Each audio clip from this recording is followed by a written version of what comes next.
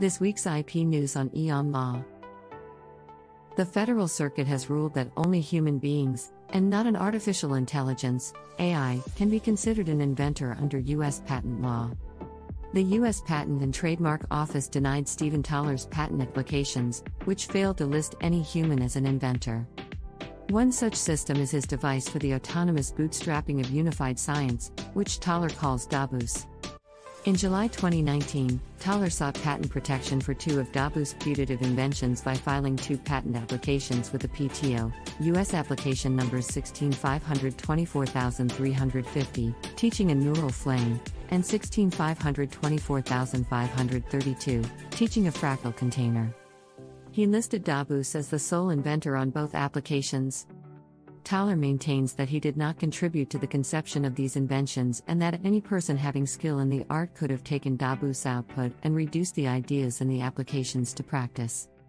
In lieu of an inventor's last name, Thaler wrote on the applications that the invention was generated by artificial intelligence.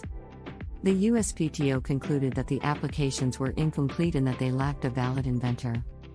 The USPTO denied this on the basis that a machine does not qualify as an inventor.